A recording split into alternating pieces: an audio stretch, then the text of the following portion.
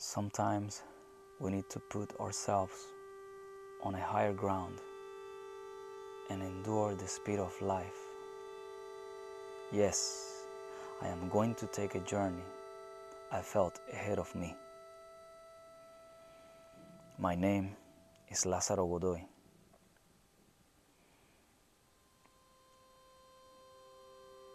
A being blessed with the gift of movement. On the horizon, we look ahead and dream with the freedom of becoming who we are supposed to be and challenge ourselves to express what the soul cannot contain. When does this trip start? In our childhood? As a young adult? For me, started in 1993 in Pinar del Rio, Cuba, landing in Miami, where the cycle began. In 2013, I was on my way to Israel, and the story unfolded.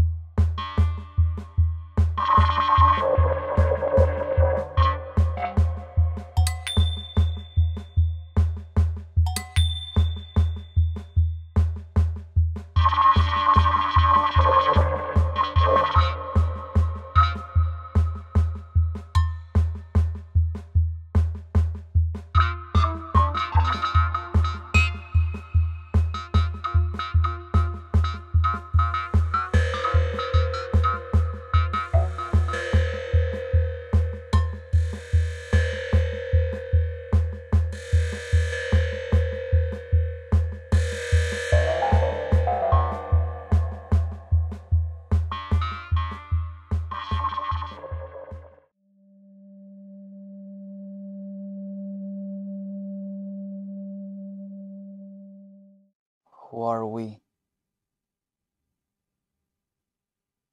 Maybe each of us carries a heavy luggage invisible to others. And with each experience, the creature inside will take over to let us know who we really are. A spark that cannot be contained in a body, or an illusion alive throughout the universe.